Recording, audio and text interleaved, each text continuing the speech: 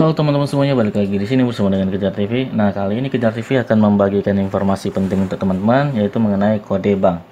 Kita tahu ya kalau kita misalnya mau transfer bank itu kita harus menggunakan kode bank ya. Biasanya itu digunakan untuk dari bank satu ke bank dua itu berbeda.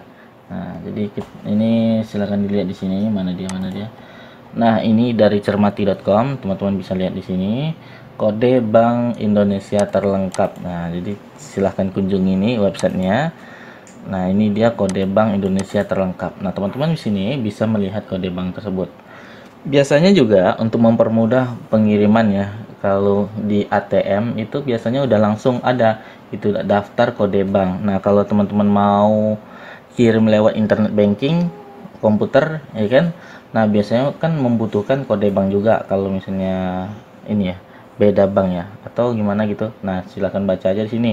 Ada bank negara daerah swasta syariah dan lainnya. Nah nomor satu bank BCA nah, kodenya 014 Mandiri 008 Bank BNI 009 Bank BNI Syariah.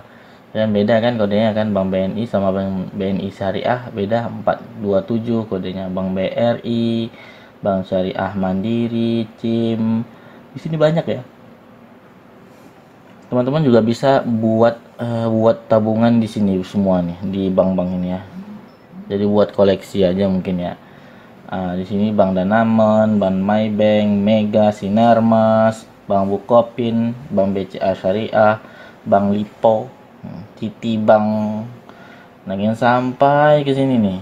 Ini kalau dibaca satu-satu nih bakalan lama ya jadi silahkan teman-teman baca nih. Kunjungi aja websitenya cermati.com kode Bank Indonesia terlengkap C siap sampai ke bawah nih. Sampai 140 Bank Cina Trust Indonesia. Waduh banyak ya banknya ya.